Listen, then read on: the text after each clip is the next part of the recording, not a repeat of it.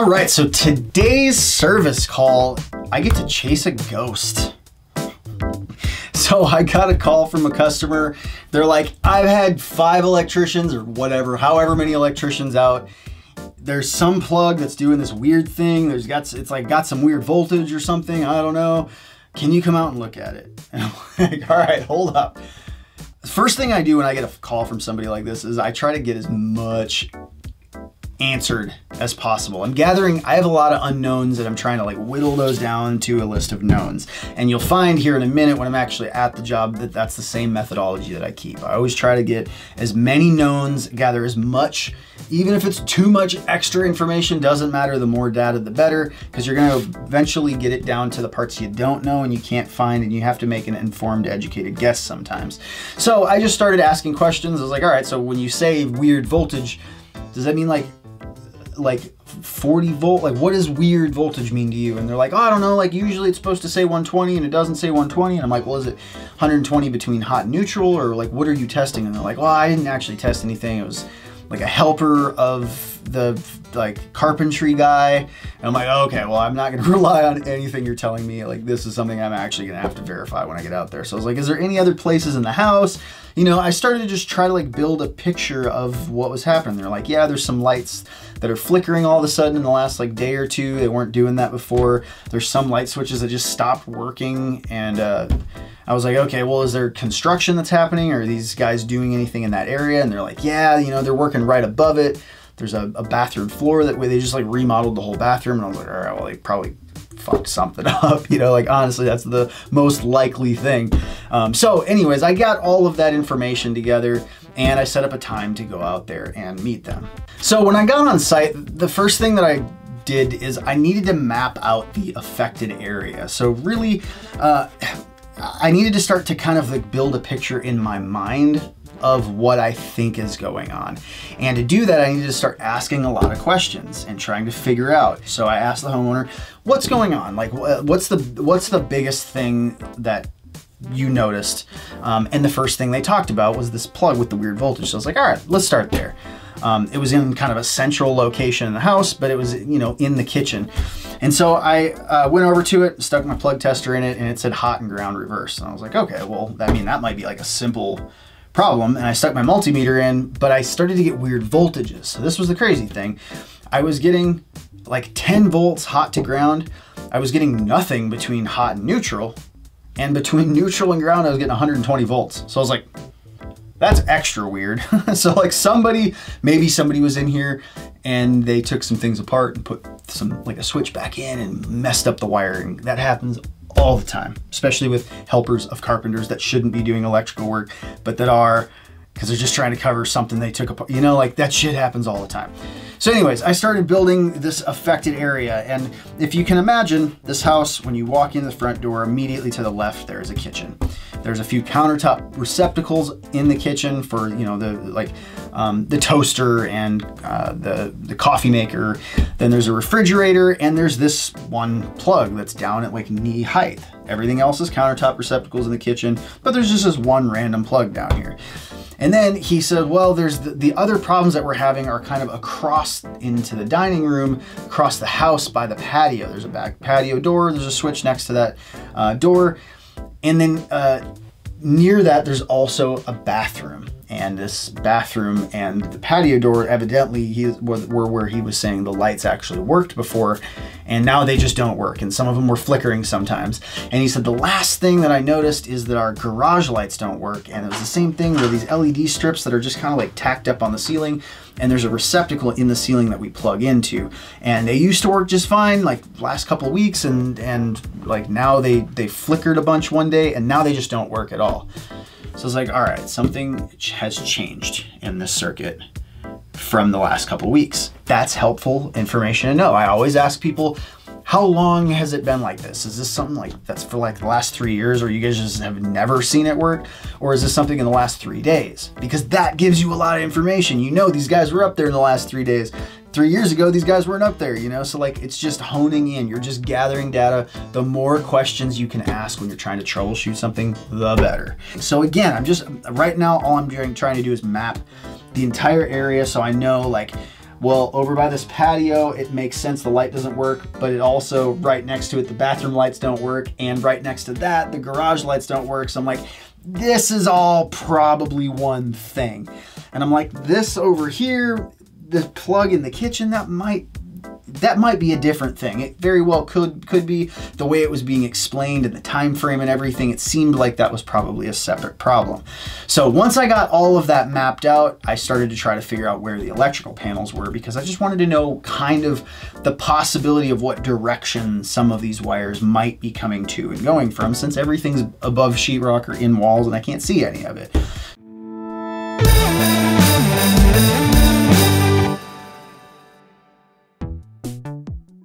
Now, one thing to think about is working safely while you're troubleshooting. So troubleshooting, this is a time where you're coming into an already energized environment and you're going to be using test equipment on live circuits, working with live circuits. So this is an environment where I think it's a good idea just to talk about working live and whether or not we should or shouldn't do it.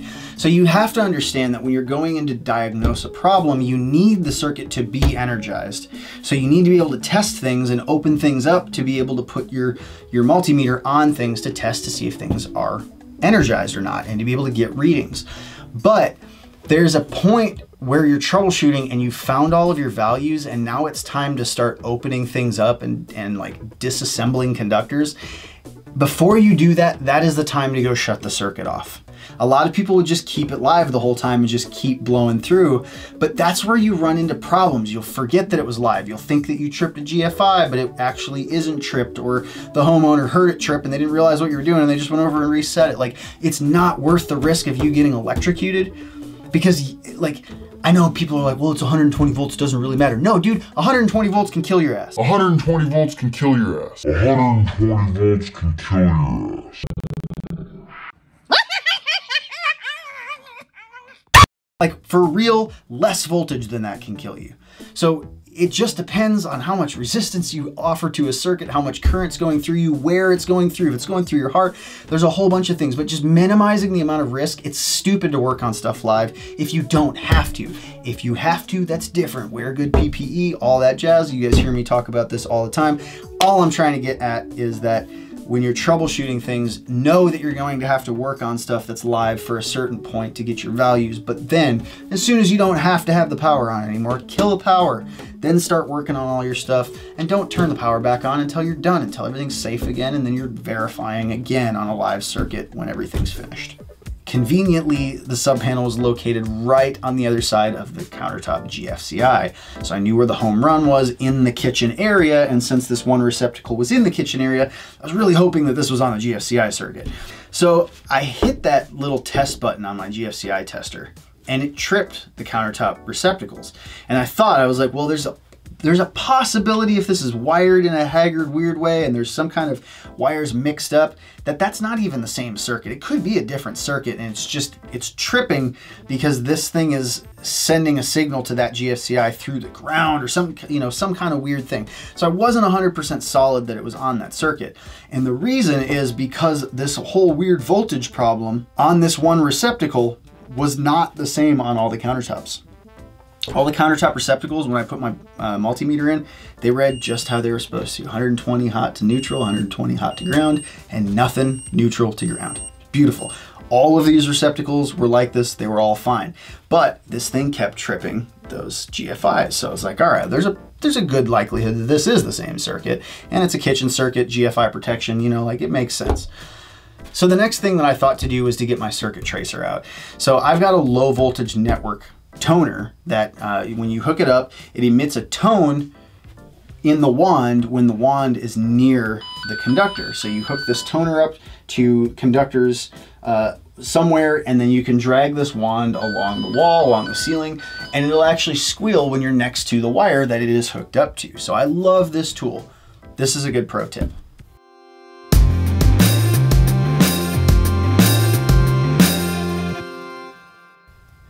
So, for a pro tip, one thing to understand about these toners is they can be somewhat unreliable from time to time, and it takes a little bit of practice to get used to how to use them properly.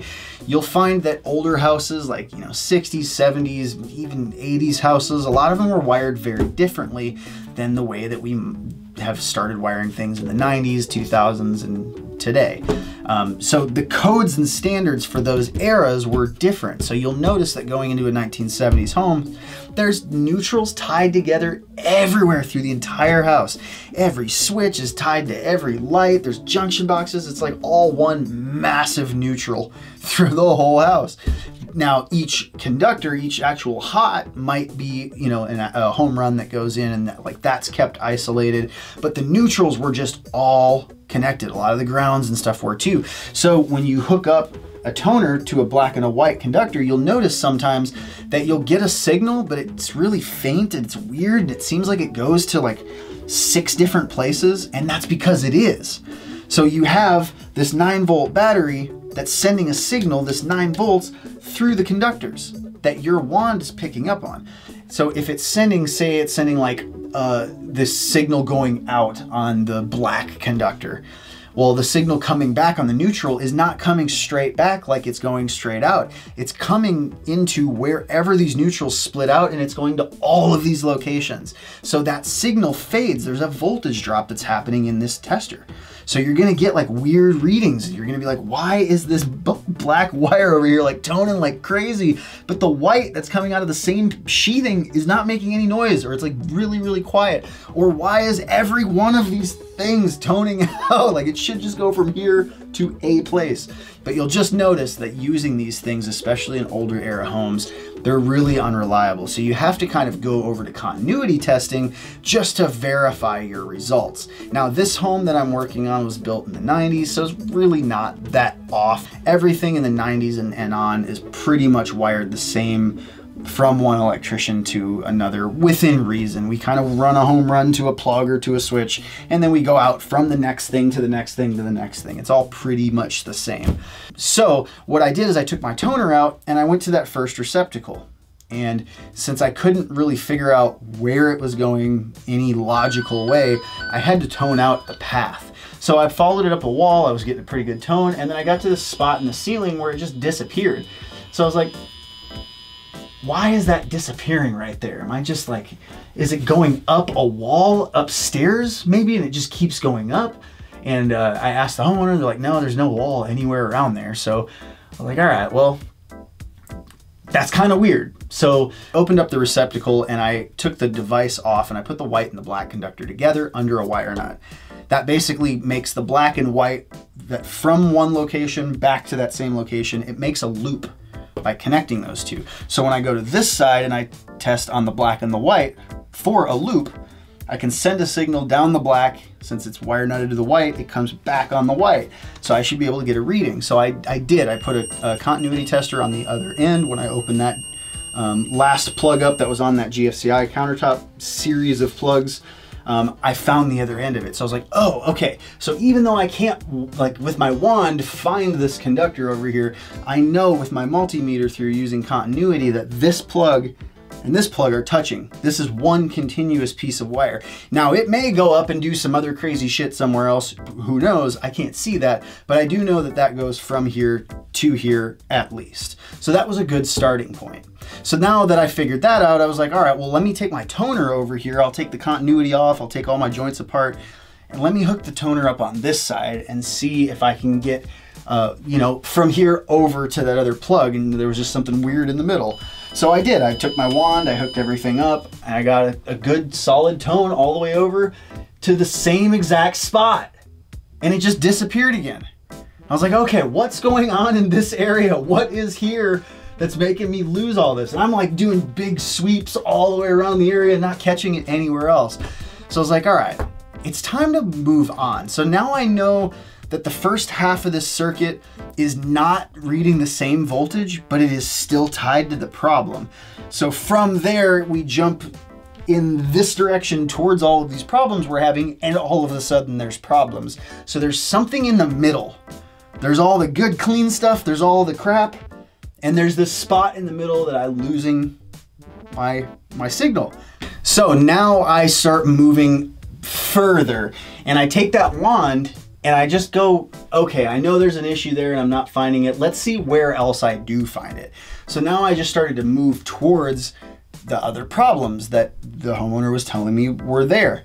And sure as shit, I started getting closer and all of a sudden beep, beep, beep, beep, beep, beep, I start hearing that tone and I'm like, you gotta be shitting me. So this one wire tones out over here, over here, and it's toning out over here. And I go over to the bathroom, it's toning out there, and I go into the garage and it's toning out there. So I was like, I bet there's a junction box in that ceiling somewhere, or they made a joint in one of the recessed cans. But I was I was losing the signal by the can. It was a few feet away from that where I was losing the signal. But I was like, I bet there's a junction box. I would still imagine I would get a tone coming to that junction box, but I don't know. Sometimes there's weird materials and things get in the way. So I just took a guess at this point. I was like, I get verified there's a whole bunch of fuckery on this half of the circuit, and I verified everything over here is clean and cool, and I got a problem spot in the middle. So I noticed there was a recessed can that was a six inch can. It was big enough for me to fit my head inside of and actually look. So I was like, fuck it, I'm just gonna take that recessed can trim out. I'm gonna take the actual can housing itself. There's three little screws in almost every single one of these cans. Um, if it's a new construction, like a nail-on kind of can, you can actually take the tube completely out and that lets you get to the junction box to work on wires if you ever have to in the future. So I put my head up in there and I saw this huge coil, just ball of wire up there, just Romex, just a big old knot of it. And I'm like, okay, something's here. so I start pulling all of the slack down and I hear this clunk, clunk, clunk. And I'm like, yeah, there's a J box up there and a metal one. I know that for sure. Like I know that clunk and so I stuck my phone up in the hole and took some pictures. And sure as shit, there was a four inch octagon box um, just sitting up there made and, and with joints made in it. And so I started to try to pull to get the box over into the hole that I was in to work on it, but I didn't have any slack to pull my direction. I had tons of slack to pull the other way. I just didn't have any slack, so I was like, fuck. Like I have to cut this ceiling there's nothing I can do. There was a vent nearby and I thought like maybe if it was like a soft vent or something, I might be able to like get it loose and pop it up and do everything right there because that was right next to where the joint was. But it wasn't, it was a hard duct and the way that those things are mounted, there's these little uh, straps that are pinched in from the sheetrock to the studs, to the floor trusses. So there's no way I was gonna get this thing off. Even if I tried to cut you know, like two sides. I couldn't get around to the other side to cut the other strap. So it was just, I was screwed. So I told the homeowner, I was like, all right, so this is what I found. I think I've found everything, and I think I have a pretty positive diagnosis for you. Um, I am like 90% positive that this junction box is our problem. Probably 98% positive. Uh, with a 2% chance that they're like, this still may not fix the fucking problem. So I was like, I gotta cut a hole in here to get to these wires. But you need to know, if I cut a hole here, it may not fix the fucking problem. Because I can't see anything, I can't open the junction box to see what the problem is. So it may not be there. Maybe like, maybe there's another junction box somewhere that I'm not seeing and it jumps out, you know, like who knows? Um, so, but I did the due diligence. I went to every location. I yanked on these wires and I could see them going in all of the directions that they should. One of the wires went down to this crazy plug and I yanked on it and I saw the wire actually move and the plug move. So I was like, all right, well, I know that's that wire. And then the other one disappeared in the same direction going over to that switch and I couldn't see it move or anything, but I was like, for a fair guess, I'm pretty sure that's where it goes. But again, this, this box was hooked up and it was so far over that I couldn't reach it, I couldn't open it, I couldn't work on it. I had to cut the hole just to get access to this box, just to fucking work on the thing. Now the other thing to note is since I didn't have access to this J-Box, I couldn't take readings from any of these other conductors. I knew that when I turned the circuit on, all of them got hot and they showed weird voltages. Uh, and I knew when I shut it off, they all shut off together. But without getting into this junction box, I really couldn't do any other kind of diagnostics to it. So the solution that I came up to, I thought was kind of creative. I looked in the kitchen and I'm like, bro, your recessed cans are really not spaced out in any sort of awesome way. Um, it's kind of like they're just kind of placed randomly.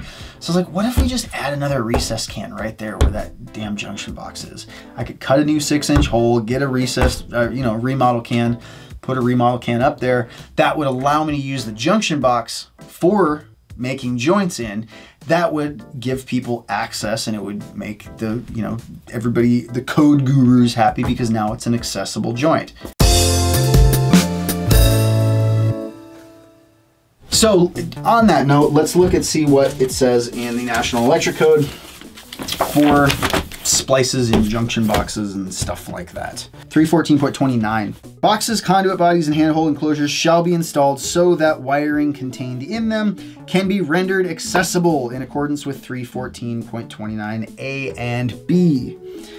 Now, under A, it says in buildings and other structures. That's us. We're in a structure and a building says boxes and conduit bodies shall be installed so the contained wiring can be accessed without removing any part of the building or structure without having to cut a fucking hole in the ceiling.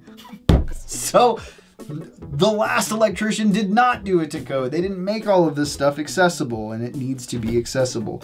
Every recessed can has a box mounted to it, so if the wires going into that box are okay for us to make joints in, and they're considering the removal of that can to access this junction box as accessible, then any other conductors that we want to put in this box are also accessible if we use that box.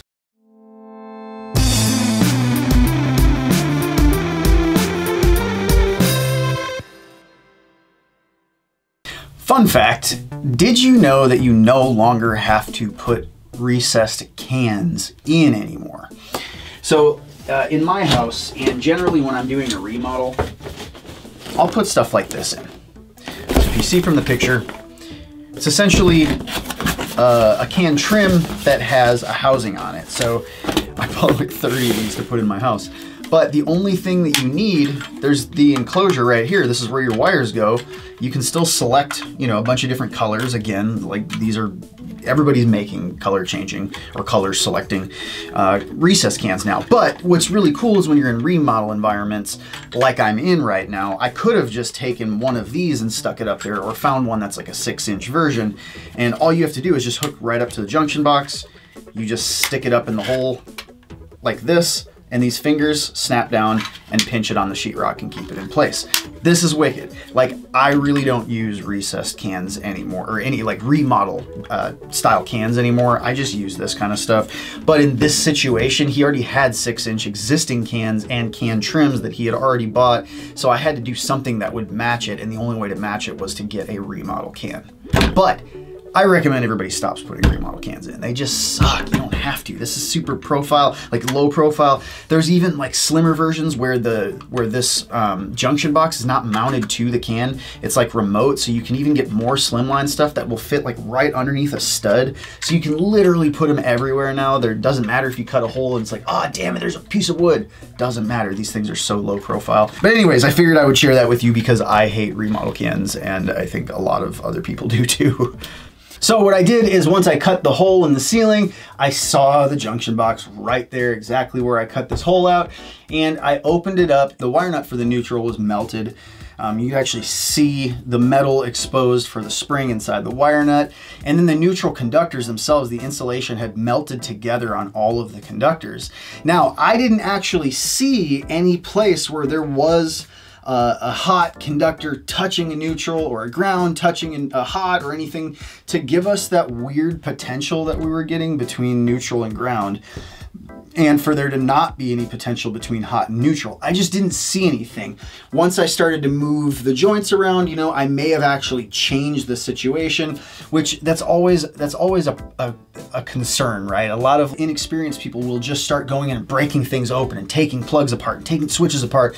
And a lot of times that ends up like screwing everything up and it moves the problem somewhere else. But I knew that this was my problem right away. I just saw the melted wires as it was. So when I started moving all of that stuff, I just stuck my plug tester in down below just to, because I was curious.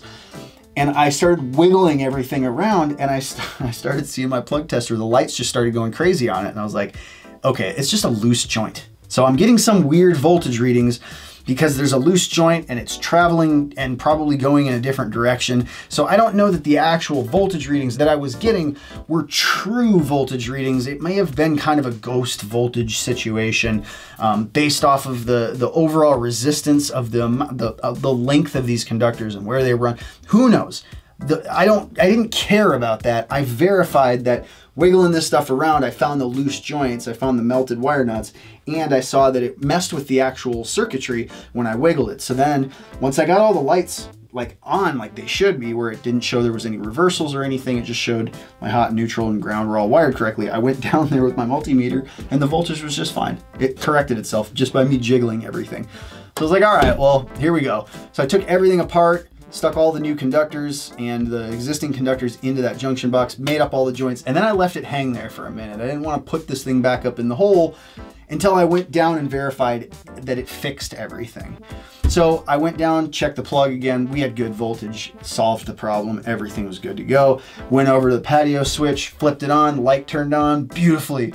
Went into the bathroom, flipped it on, light turned on, went into the garage, flipped it, lights came on. I was like, golden, solved the problem. Um, so most of the problem was just trying to find this weird problem that existed. Um, but the actual fix itself was, was pretty easy to do. One thing I did do is because I had a receptacle in the ceiling of the garage and there were LED lights hooked up to it, I didn't want to just assume that I had fixed the problem everywhere else. I really only took the voltage reading at this first plug. So what I did is I went to every one of the devices that was affected and I checked the voltage there too. Even though I knew it was all working, it was probably fine, just check. Like you're, you're already there um, it's worthwhile to check. Got clean 120 between hot and ground, hot and neutral. Got nothing between uh, ground and neutral. So everything was good to go. Um, I put everything back together and then I put this can back up in the hole. The homeowner actually got brand new uh, recessed can trims um, and they had like adjustable uh, colors on them. So there was different Kelvin ranges, which I love. Like all, all recess cans now should have that. And they're starting to make more and more of them with them that way. But that way you can control the color spectrum. If you want more cool light, if you want more warm light or whatever, if you like that like sterile hospital bluish white, you can have it. Um, so we just put all new recessed can trims in, got everything back together and cleaned up. Now you'll notice as I am cleaning up that I put down a a moving blanket or like a drop cloth. I always keep a drop cloth with me in my truck, in my van, um, and it's something that I keep under me when I'm working, especially when I'm working overhead doing dirty stuff. I'm in somebody's kitchen, you know?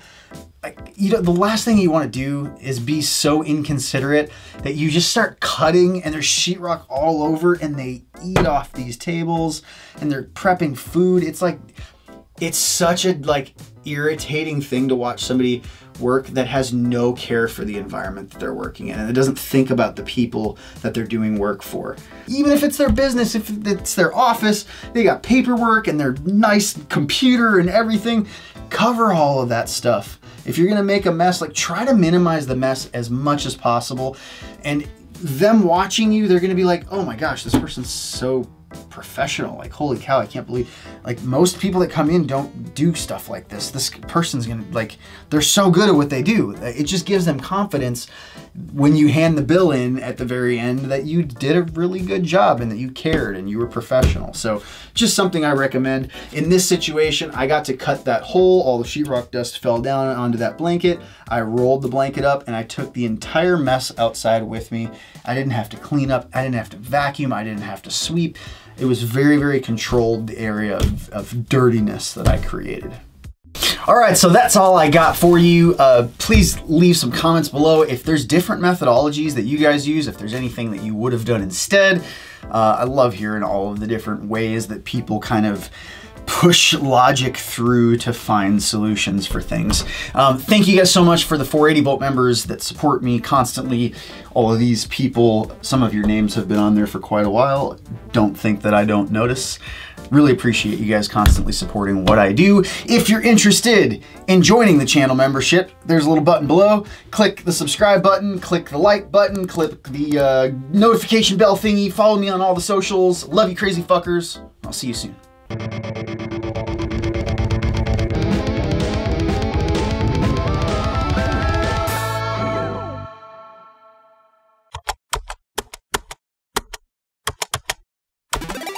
Best Cant Music and Video.